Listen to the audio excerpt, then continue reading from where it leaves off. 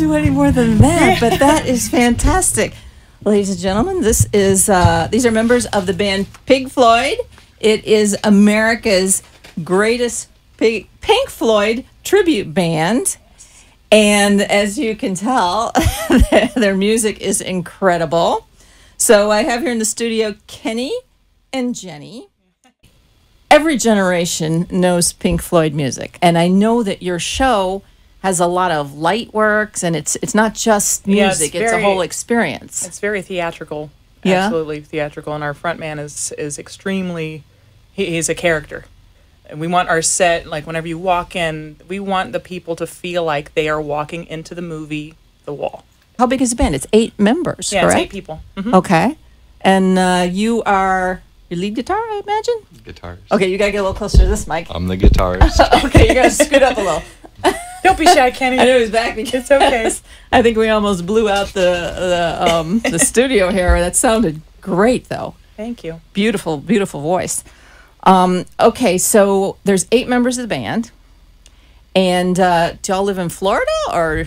Yeah, we're all uh, we're all generally in uh, that Southwest Florida area. Like some of us, uh, he's in Naples. Naples, okay. I'm in Fort Myers. Some of us are in Cape Coral. So we're all in that area, and we all just sort of. I go from here across Alligator Alley up 75 just about uh, at least once or twice a month. So I'm That's all a long so I know that area. And then when you get used to it, it's really not. it's not so bad. It's very pleasant. But I got to listen to your music next time I go across there. yeah, absolutely. So how long has this band been together? Uh, about three years we've been together. Okay. Uh, the first first show I was was at, um, I literally like had to. You guys gave me two weeks to figure out all the backup vocals. oh boy. but I didn't have to. And then the very first show, I didn't sing "Wreck in the Sky" though, because that took me a little bit to to to get down and yeah. took some time. And you can't sing the song without passion at all. And there's such great music. I was, I'm thinking of all of the big hits, and you perform all of them, I would imagine. Uh, or most yeah, of them. well, we we do a lot of the Wall and uh, and Dark Side of the Moon. oh, Dark Side of the Moon. Yeah, Oh, yeah. that brings back memories. That's- wow. Yeah, those those are our our, our main focus. Oh, we like fantastic. The old school, Yeah. the old school the classic stuff. Yeah. And so the light show and all that, it's Oh yeah, it's a whole yeah. We have the lasers. Gotta be careful with all those and stuff. There's all regulations with the lasers and uh, Why is that? Uh, just because of you know. They're uh, powerful enough to yeah. burn your eye. I just out. can't shoot them in somebody's eyes. Yeah. yeah, so Okay. we're we're always you know cautious with you know blacking out certain sections and stuff like that, and that's L. Ron's job, uh, Ron's son, Okay. and he's he's the one back there running all the lights and also playing keys and a little bit of playing guitar. guitar. It too, must yeah. take you guys forever to set up and break down. It does. yeah. It does.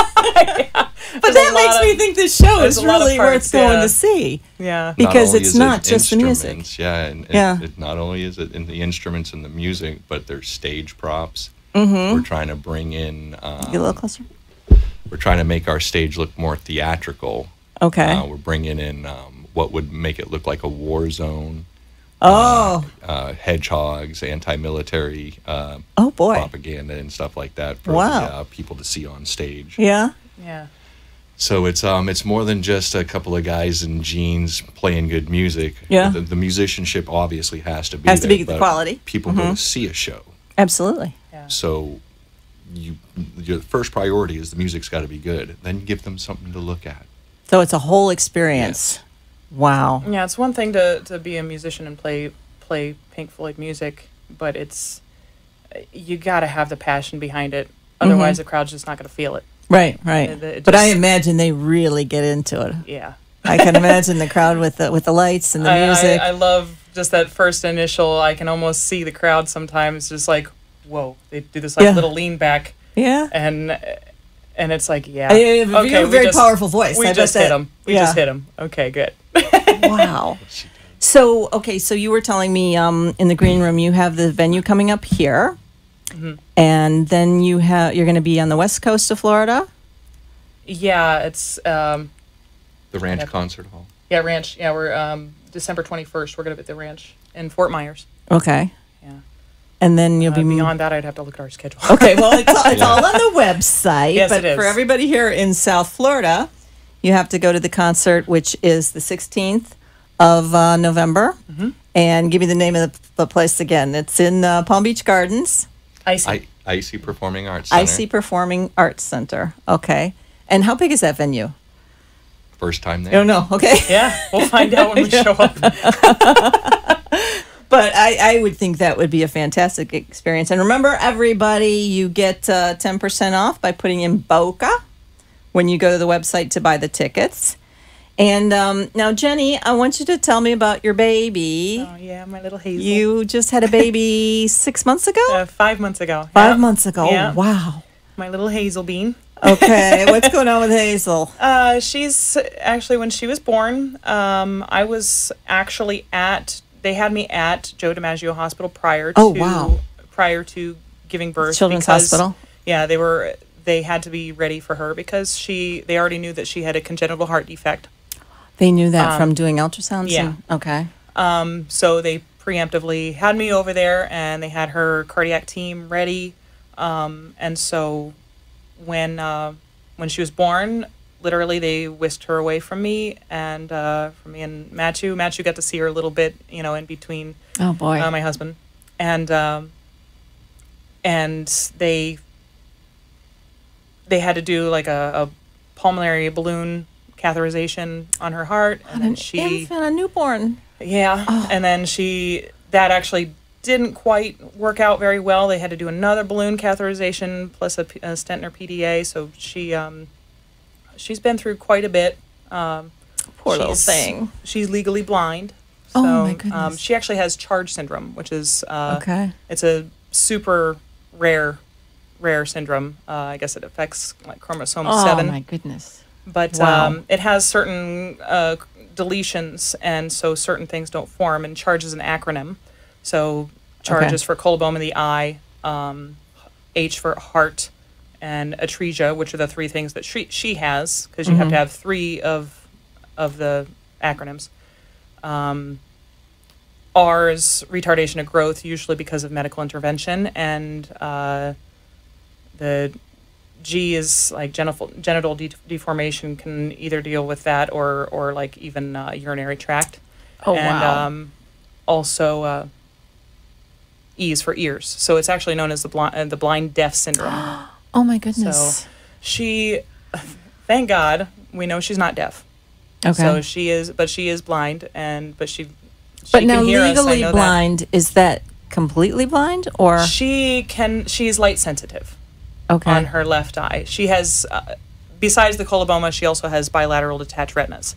So, uh, and the Oh left one is partially detached, so that she's she's capable of, of filtering some light through that eye. So, will yeah, she's will got some. that improve?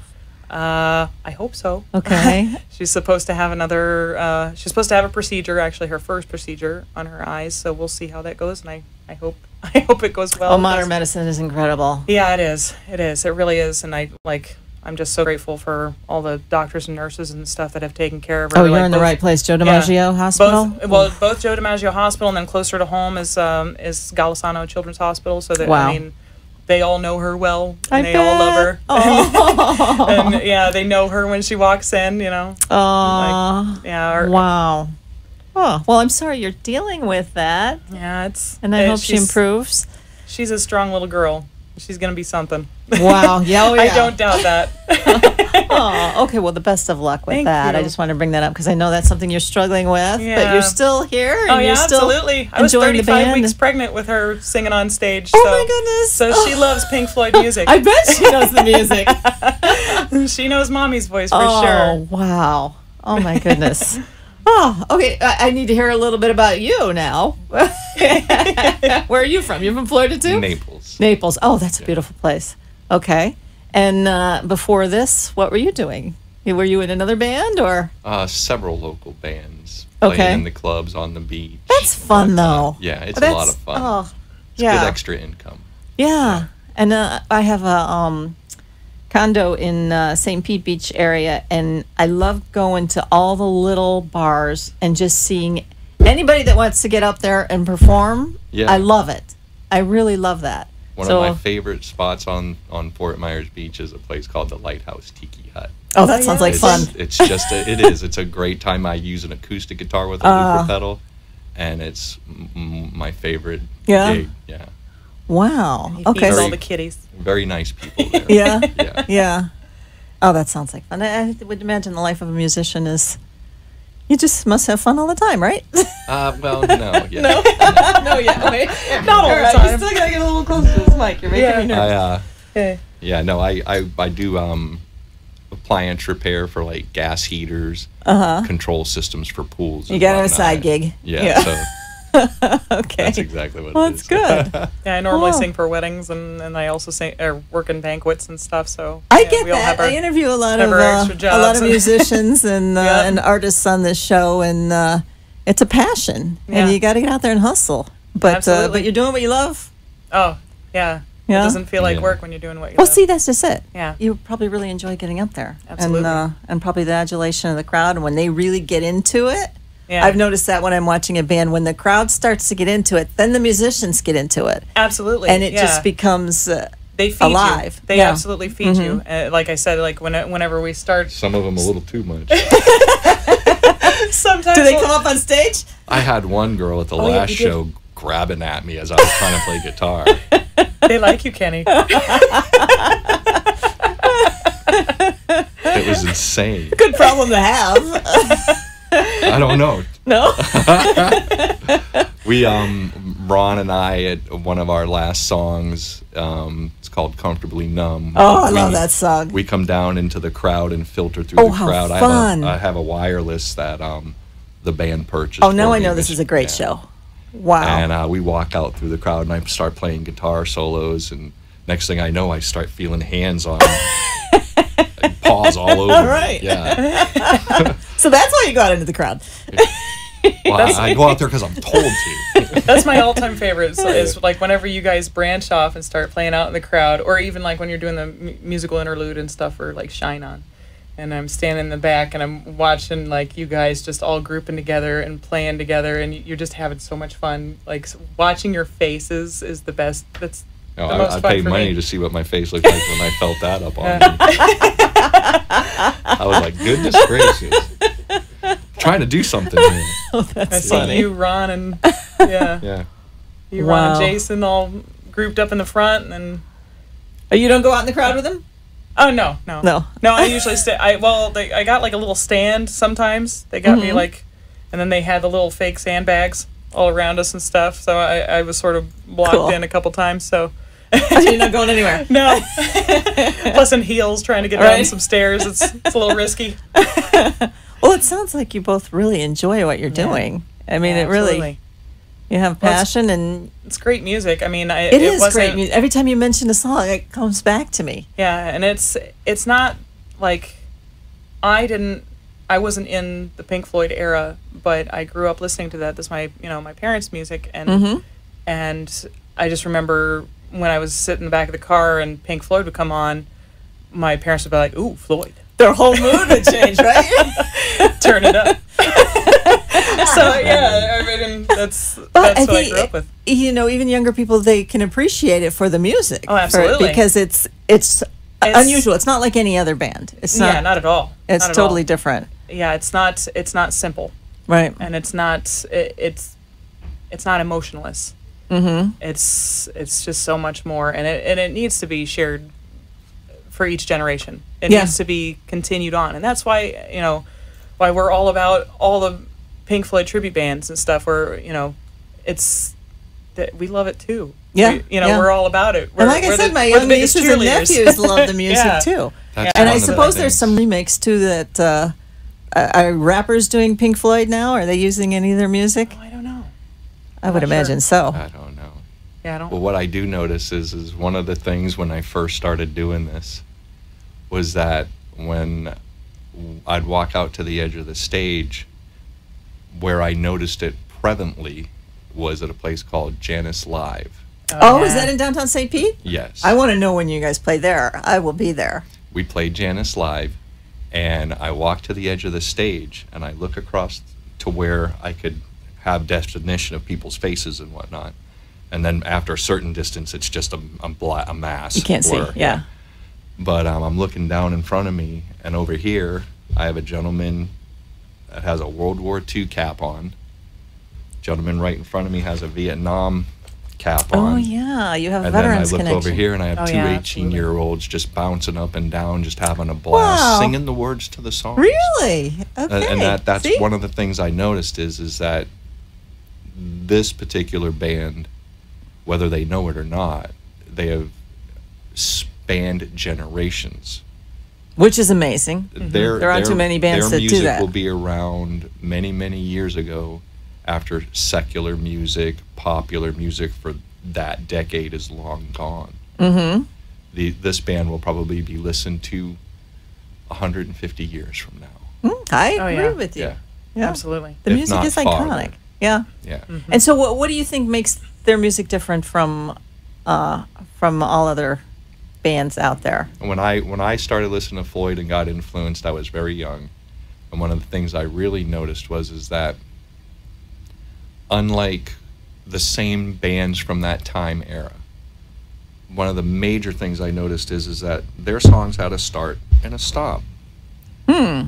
When I listen to Pink Floyd or you put the CD in, you can't tell where one song starts and one Yeah. song ends. Right.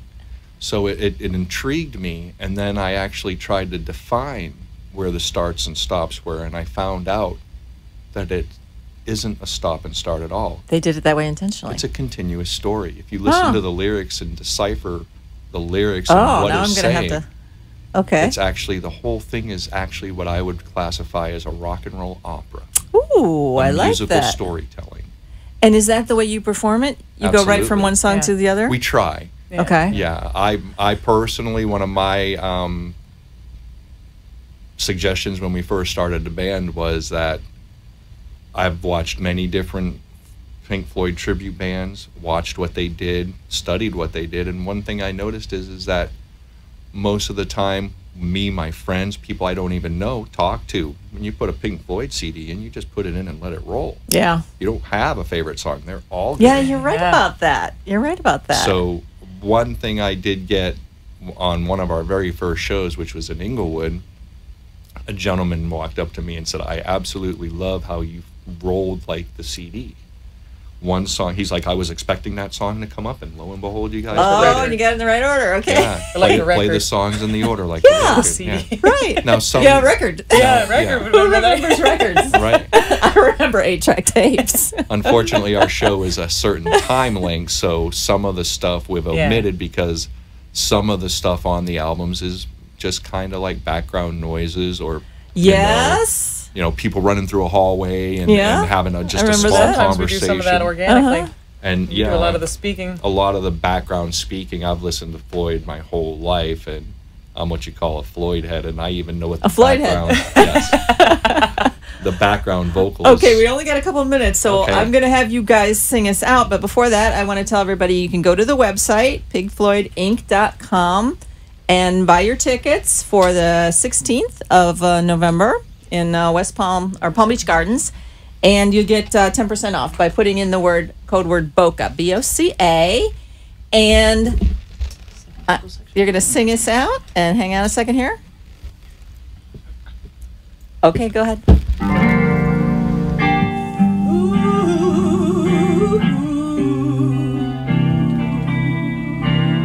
Okay, sorry, we gotta go.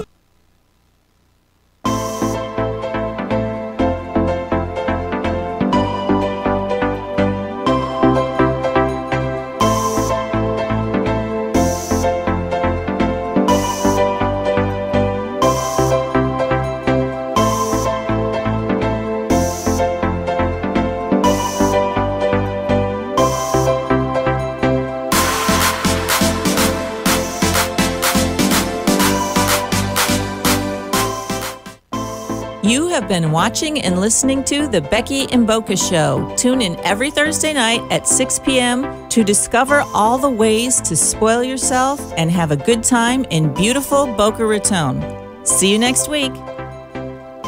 The opinions expressed on the preceding sponsored program were strictly those of its hosts, guests, and callers, and not necessarily those of this station, its staff, management, or sponsors.